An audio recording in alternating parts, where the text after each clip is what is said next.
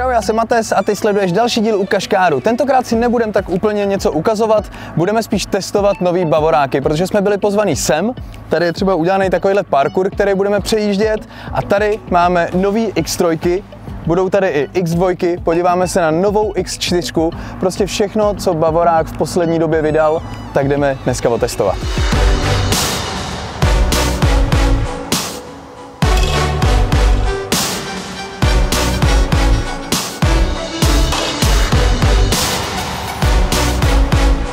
Čeká mě tu první stage, což je parkour. We built this narrow corridor with the cones, which you shall pass without hitting any cones. Yes. But it is difficult because at a certain mo moment you don't see the cones anymore, and Mm. there you can use now the new 360 degree camera. Takže teďka čumím jenom na tu kameru a vůbec ne na cestu, což je docela vtipný. X-Drive, I think you know. X-Drive Yes. the intelligent all-wheel drive from BMW. Intelligent because it's connected to all the sensors like steering angle sensor, throttle sensor, and all the other sensors in the car. And according to these sensors, it's dividing the force to each tire. Yes. yeah? By default, we have 40% on the front axle, 60% in the rear. But we can have up to uh, 100% in case of this car, 360 horsepower just on one tire. Okay. Yeah, and on these ramps we will have the situation that two tires will be on the ground mm-hmm. and the other two will In be in the air.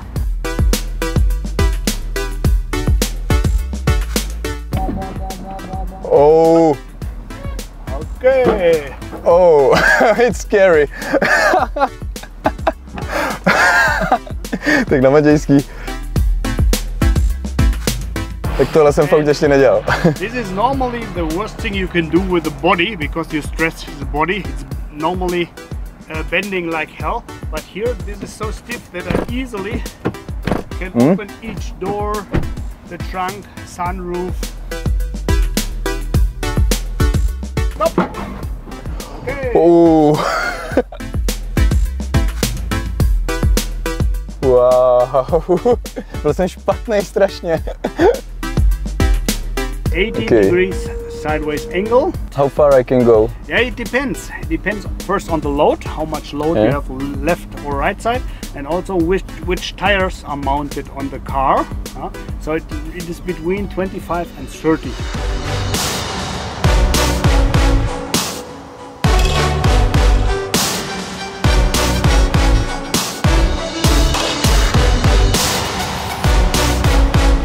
Sedíme zrovna v X3, máme tady benzínový 3 litr. To je ten zvuk, to znamená, že to nepojede vůbec špatně No a já vás poprosím takový standard, prosím vás na volantu žádný Superman a podobné techniky, takže dvě ruce na volantu poloha 9 a 3. Já se vás pokusím povozit trošku rychleji, byť mám jenom dvoulitrový diesel vepředu, ale jak se říká, výkon se dá nahradit odvahou. podle mě tady mají nějaký odezírací zařízení. Vezměte si nějaké rozumné rozestupy a snažíme se co nejvíc do těch ostrých zatáček brzdit do rovných kol tak, aby jsme už plně zabržděným autem následně projížděli dál. Doporučuji přenastavit jízdní režim a myslím si, že pro naší potřebu bude značka ideální jízdní režim Sport. Pedál na podlahu, podlaha, podlaha, jeden tvrdý plyn, pojď, pojď, pojď. Stovka, povolíš akceleraci, lehká brzda a plynulec zatáčky. Tak jsem rád, že jsme nevyfasovali nějakého instruktora, který nás tady bude vozit 40, ale můžeme jezdit i 55. Maximálně. Hele, Tesla je fajn, jo, ale ten zvuk je prostě, to je úplně něco jiného, no. Nejhorší je, že bych ten Sport Plus nikdy nevypínal a jezdil bych s tou spotřebou, kterou to asi nejspíš bude mít. Ale na to sere pes. Protože Tak, máme tady užší silnici, takže vám budu hlásit auta z protisměru, zatím čisto, down, tvrdý plyn, pojďme podlaha. Ty vole, já ho sotva dojedu, ale jako, to je hustý, jak mu to jede. Dvou litr diesel, ty. jo. Skvělý. Oh, ty vole, ten byl blízko. Tak za horizontem první vůz jenom X4, ta respektive X3 předjíždíme, X3 jedem ty vole. A X2 taky opatrně, prosím, budete předjíždět zatáčce, nikde nikdo, takže můžete. Ty, ale tak to je naprosto nejlepší, je v takovýhle koloně, kde vám týpek říká, jestli tam někdo jede nebo ne. Ještě nikdy jsem nepředjížděl na nebezpečnějším místě, ale vzhledem k tomu, že vím, že tam nikdo nejede, tak můžu.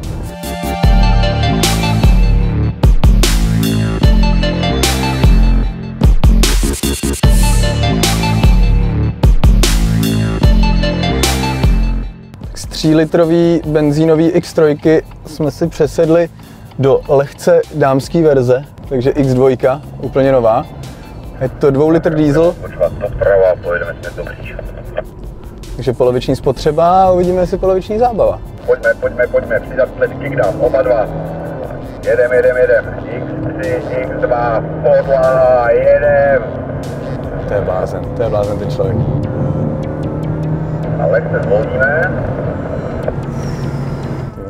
Spotřebu máme 7,4. Na to, že s tím tady jako lidi nejezdí úplně ekonomicky a všichni na sport, tak si myslím, že je to dost slušný. Učíme kurzy sportovní jízdy, tak učím takovou jednu základní poučku, která zní z angličtiny teda flow in, fast out. Je. Pomalu dovnitř a rychle ven. Tuhle poučku zrovna znám. Zrychlovat je stříbro, ale brzdit je zlato. Zkusíme, jestli to samo zastaví? ne, ne, ne, ne, ne, ne, ne.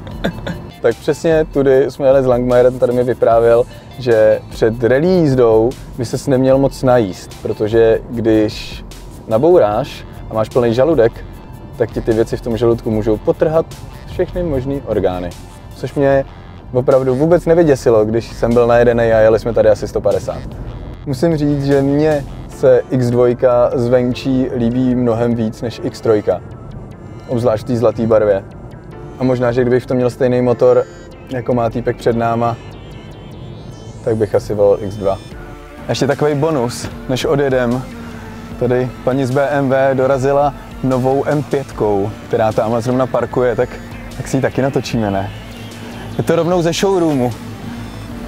Dvacítky naleštěný kolečka, obrovský brzdy, neskutečný zvíře.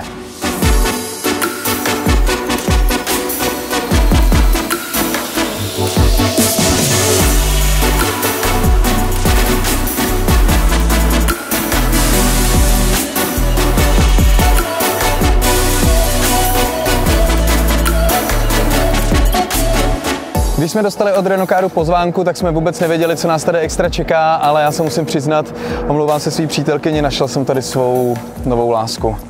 A není to tak úplně X2, X3, X cokoliv, je to hlavně motor M40i, protože to je prostě bomba. Vzadu to má skvělý klapky, ze kterých se zvedá naprosto všechno a já nevím, co k tomu dá říct, je to prostě porno, totální. A děkujeme.